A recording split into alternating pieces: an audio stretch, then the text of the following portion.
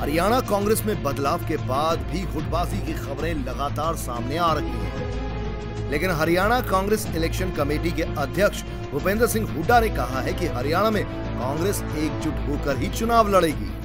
देखिए जो हाईकमांड ने फैसला किया उससे संतुष्ट है और पार्टी एक होकर अब हरियाणा में कांग्रेस सरकार बनाने का कोशिश करेगी दरअसल फरीदाबाद में पूर्व मंत्री शिवचरण लाल शर्मा की बरसी का आयोजन हुआ था जिसमें हुड्डा शामिल हुए थे।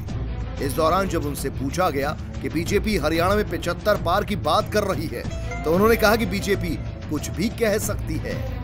वो तो वो कुछ भी कहें सीट नब्बे हैं वो कह सकते हैं हम तो 110 पार करेंगे कौन रोकेगा? आप क्या लेकिन जी, जी। फैसला तो हरियाणा की जनता ने करना कांग्रेस वो तोलेगी वो तोलेगी कि इस पाँच साल की सरकार की विफलताएँ और हमारी सरकार की उपलब्धियाँ तोल के अभी तक हरियाणा में कांग्रेस सत्ता में आने के लिए पूरा ज़ोर लगा रही है और एकजुट होने का दावा भी ठोक रही है। लेकिन ये तो चुनाव के वक्त ही अब पता चल पाएगा कि कांग्रेस है कितनी एकजुट।